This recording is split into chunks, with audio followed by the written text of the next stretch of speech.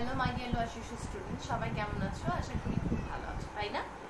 চলো দেখে নিই এই সপ্তাহে আমরা বাংলা ক্লাসে কি করলাম। আসলে আমরা ক থেকে চন্দ্রবিন্দু চন্দ্রবিন্দু পর্যন্ত অলরেডি ব্যঞ্জন বর্ণগুলো শেষ করে ফেলেছি। তাই আমরা আবার এখন শুরু করব স্বরবর্ণ মানে স্বরবর্ণটা রিভিশন দিব, তারপর আবার ব্যঞ্জন বর্ণটা রিভিশন দিব, তারপরে আমরা শূন্যস্থান পূরণ করব এবং তারপরে আমরা শব্দ গঠন শিখব। কেননা সেক্ষেত্রে আমরা ভালো করে বর্ণগুলোকে ঠিকভাবে চিনে নিতে পারব। যতবার আমরা প্র্যাকটিস করব, ততবার করে আমাদের ভালো ভালো অভ্যাস হবে, তাই না?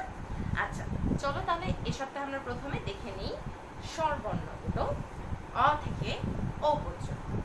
ঠিক আছে?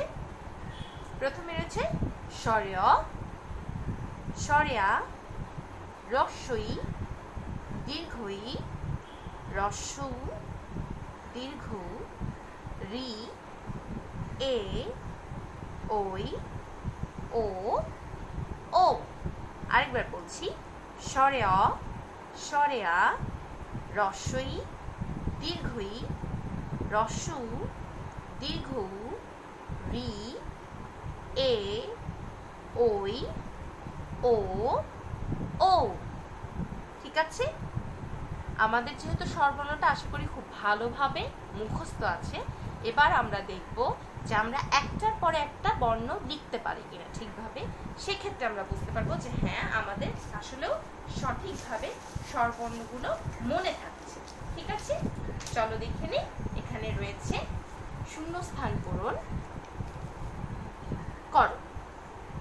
স্বরেয় ড্যাশ রসই ড্যাশ রস্য ড্যাশ রি ড্যাশ ওই ড্যাশ ও শেষ, তাই না? এবার আমরা যেটা করব, সেটা হচ্ছে এই ড্যাশগুলোকে আমাদের পূরণ করতে হবে, শূন্যস্থানকে পূরণ করতে হবে।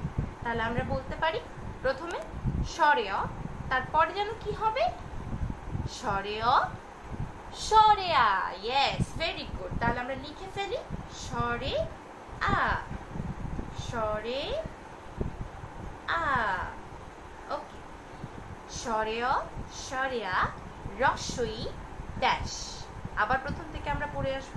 স্বরেয় স্বরেয়া রস্বই এখানে হবে দীর্ঘই। আচ্ছা আমরা লিখে ফেলি দীর্ঘ ই ঠিক আছে? দীর্ঘ আবার স্বরেয় স্বরেয়া রস্বই দীর্ঘই রস্য দীর্ঘ এভাবে করে আমরা শূন্যস্থানটাকে পূরণ করে দিব একটার পর একটা ঠিক আছে রি স্বরেয়, স্বরেয়া রস্বই দীর্ঘই, রস্য, দীর্ঘ, রি, এ। এখানে লিখব আমরা এ। এ, ওই, ও ও শেষ। এবার আমরা এখানে ও লিখলে আমাদের স্বরবর্ণ কমপ্লিট ঠিক আছে? তাহলে আপনারা এই সপ্তাহে এটা বাসায় প্র্যাকটিস করতে থাকেন স্বরবর্ণ এবং ব্যঞ্জন বর্ণগুলো আমরা লেখা আবার শিখব মানে আমরা আবার রিভিশন দিচ্ছি। তাই এ সপ্তাহে আপনাদের শুধু স্বরবর্ণটা